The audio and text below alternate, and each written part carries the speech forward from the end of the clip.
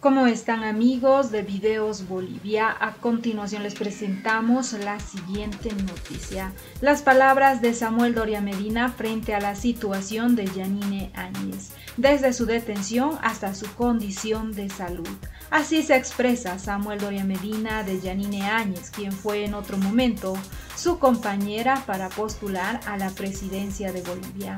Yanine Áñez será candidata a la presidencia, mientras que Samuel Doria Medina era su candidato a la vicepresidencia en las elecciones pasadas, donde terminaron declinando antes de la realización de esa elección.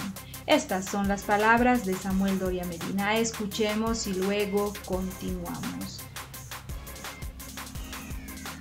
porque el problema no es si uno es de izquierda, de derecha, de aquí o de allá. Eh, no, el tema es si el gobierno eh, puede ejercer una tortura a los presos políticos. Esa, ese es el tema que se están haciendo los bolivianos y ese es el tema también en el exterior.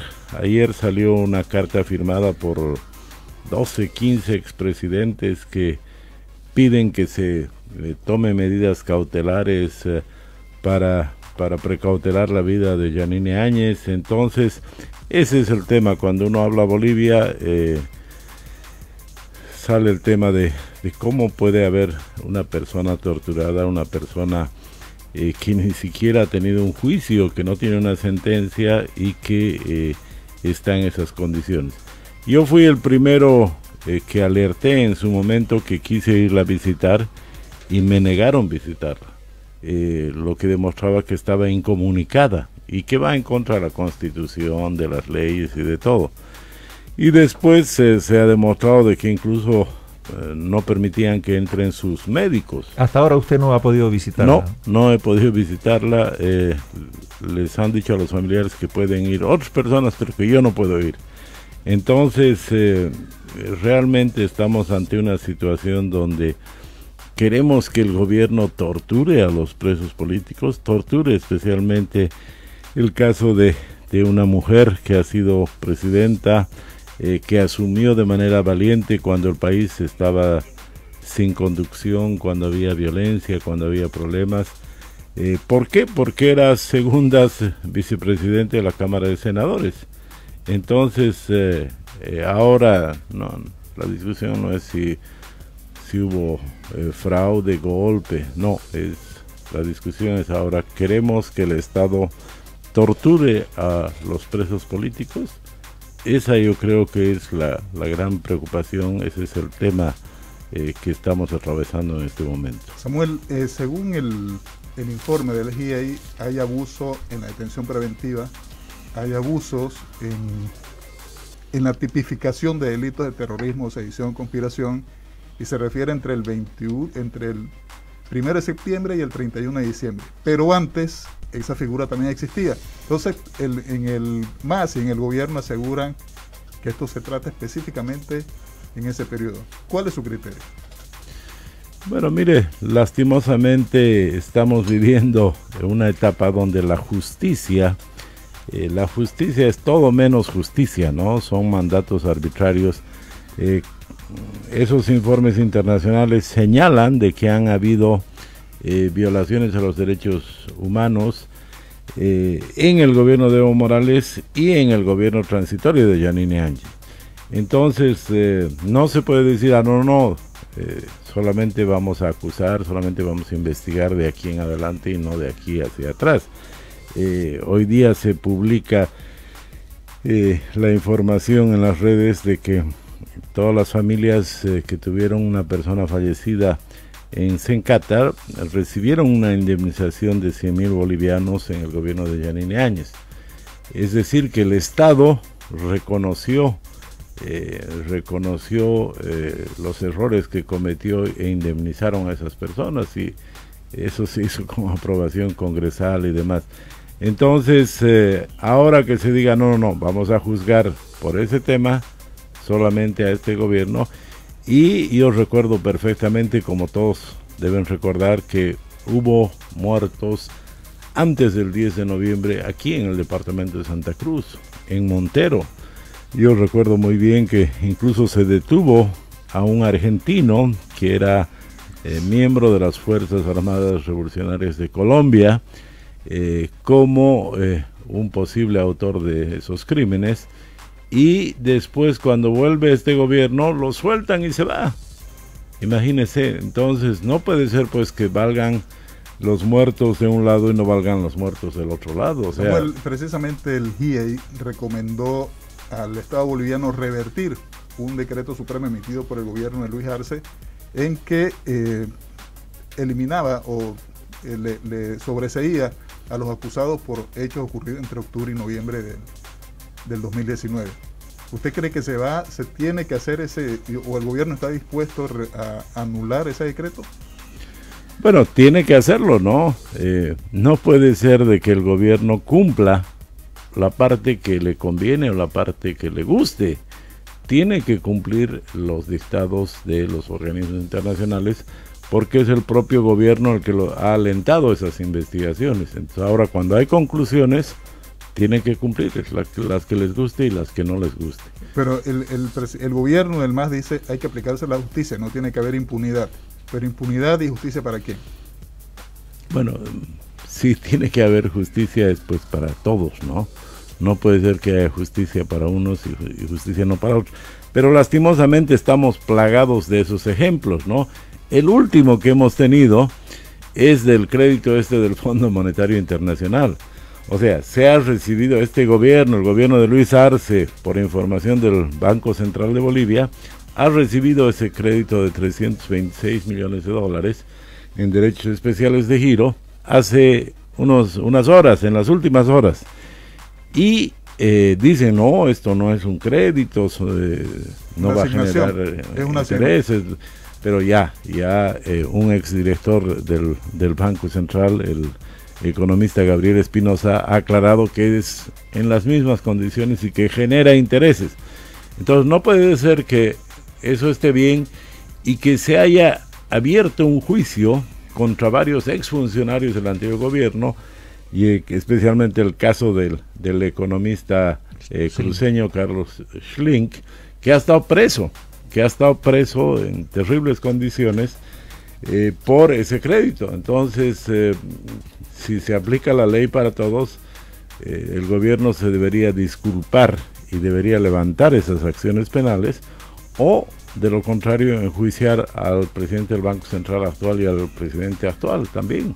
Bueno, usted eh, comenzó diciendo que un gobierno cruel. ¿Puede definir qué es cruel eh, o qué es un gobierno cruel para Samuel Doria Medina?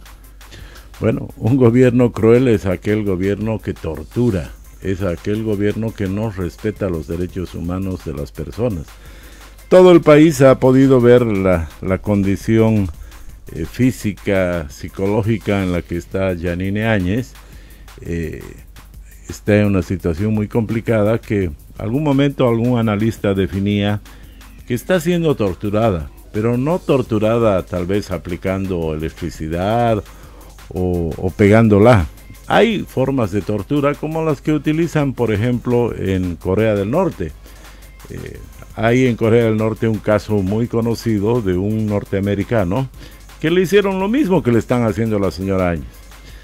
Eh, incomunicarlo, eh, cuando estaba enfermo no atenderlo adecuadamente, hasta que en el caso de ese norteamericano falleció, murió, y se determinó que había sido víctima de un tipo de tortura que no deja rastros en el cuerpo. Bueno, a la señora Áñez se le está haciendo lo mismo.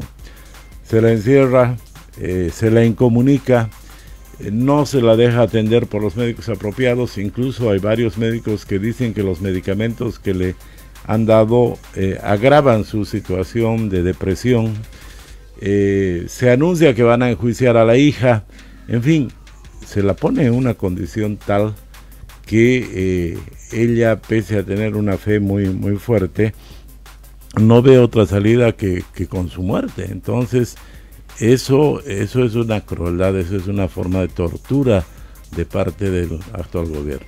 El Tribunal Supremo de Justicia tiene prácticamente implementado un juicio de, responsabilidades contra la expresidenta Yanine Áñez ¿usted considera de que un juicio de responsabilidad también le correspondería, eh, le correspondía responder al expresidente Evo Morales?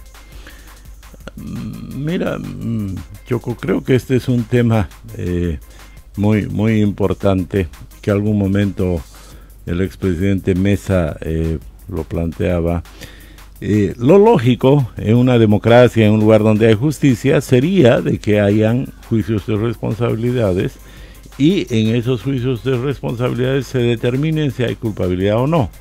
Pero la realidad de nuestro país es de que van a acusar y van a querer aprovechar la, primero la mayoría en el Parlamento eh, y segundo, eh, un juicio de responsabilidades eh, se da en la Corte Suprema y es muy rápido.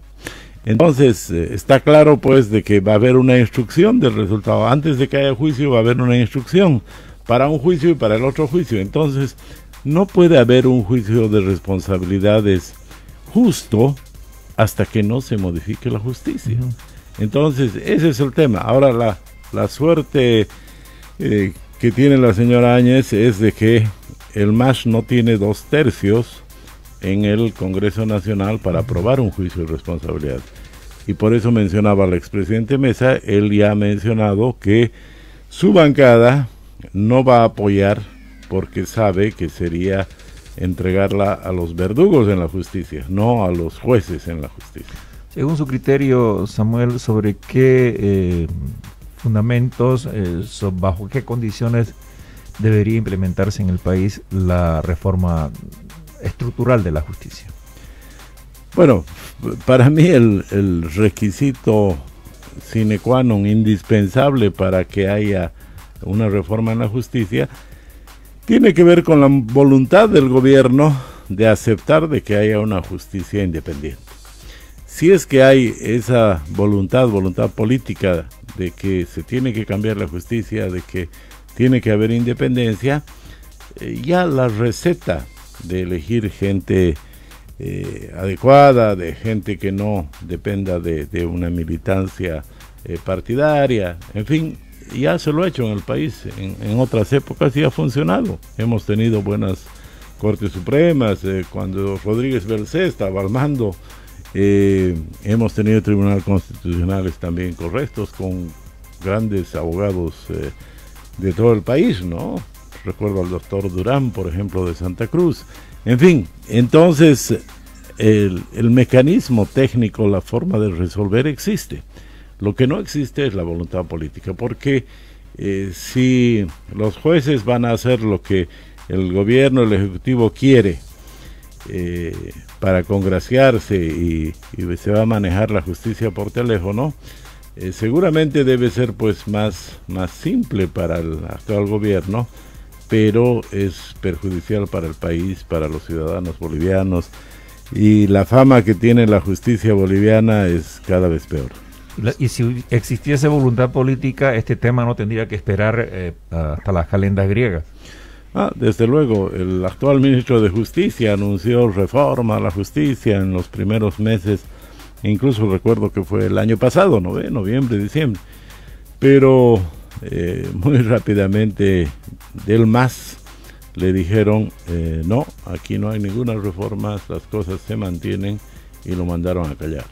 Samuel, eh, está claramente, o se ve claramente que Evo Morales está en una campaña de promoción de su, por lo menos de su figura, probablemente con, con mirada hacia 2025. Según el ministro de Justicia, el Tribunal Constitucional es el que debe dilucidar si Evo Morales puede o no ser candidato para las próximas elecciones. En su criterio, ¿debería Evo Morales postularse en una nueva oportunidad a la presidencia de Bolivia? Mira, Leo, eh, yo creo que eh, la población está viendo lo que está haciendo el, el, actual gobierno y por mandato de Evo Morales. Entonces, toda esta teoría de que hubo golpe, de que hay que torturar a Janine Áñez, es para tratar de corregir el error de Evo Morales de que salió escapando ante el primer problema. Entonces, desde ese punto de vista, eh, están tratando de, cambiar la imagen, están tratando de lavar su imagen, pero yo veo que la población eh, cada día ve con más claridad lo que ha sido Evo Morales, lo que es Evo Morales, y ya han tenido problemas. Bueno, no es ningún secreto para nadie que Evo Morales no puede viajar en un avión porque la gente lo rechifla, le gritan fraude y ya no puede subir a un avión. Entonces, yo creo que cuanto más quieren forzar desde el Estado para lavarle la cara a Evo Morales, la población eh, ve con más claridad lo que es Evo Morales y quieran cambiar leyes y demás, si no tiene apoyo no le sirve de nada. Volviendo a la gestión de Luis Arce Catacura y como empresario eh, Samuel Doria Medina, eh, ¿cómo ve la marcha de la economía en el país? A ver, primero, primero no es fácil, no es fácil tener una idea completamente clara porque no hay información. Además, este gobierno eh, manipula las cifras. Eh, yo me acuerdo que estaba en, en Madrid el primero de agosto y revisé el, periódico y el periódico El País de España decía, eh, la economía española se recupera porque en el mes de julio se ha recaudado 3% más de impuesto que en el mes de julio del año 2019. Obviamente esa es una comparación eh, lógica, ¿no ve? O sea, los españoles decían, ya estamos recaudando más que antes de la pandemia, estamos mejor. Pero en nuestro país cada semana hay un anuncio y nos dicen, estamos mejor que el año pasado, más recaudación que el año pasado, más crecimiento que el año pasado. Entonces realmente eh, no tenemos una, idea muy clara de lo que pasa, ¿no? Después, eh, no están publicando sistemáticamente información del Instituto Nacional de Estadística, del propio Banco Central. Eh, han manejado una estimación que se usó al tercer trimestre del año anterior que la economía iba a caer 11%. Después he visto otra cifra que la economía cayó un 8%. Entonces no hay claridad en las cifras. Ahora, ¿qué, ¿qué, se puede decir? ¿Qué se percibe? ¿Qué se siente en la economía?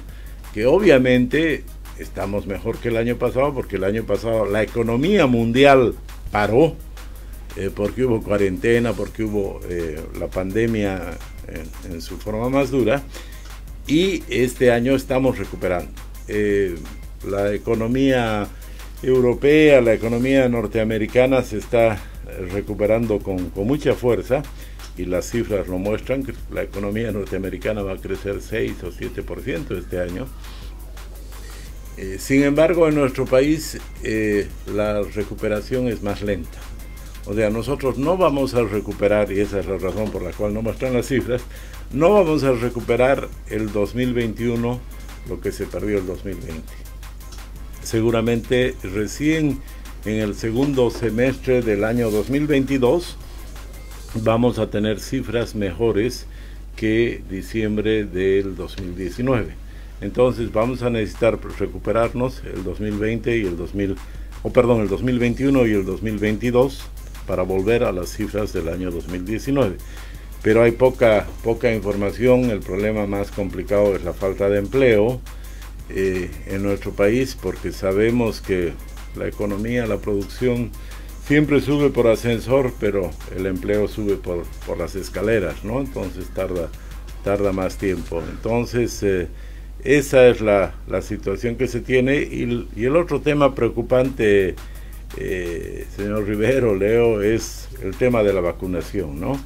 Ayer las cifras que todo el mundo eh, respeta de la Universidad John Hopkins de Estados Unidos, cifras mundiales, señalaban de que Bolivia tiene una vacunación del 19.5% de su población.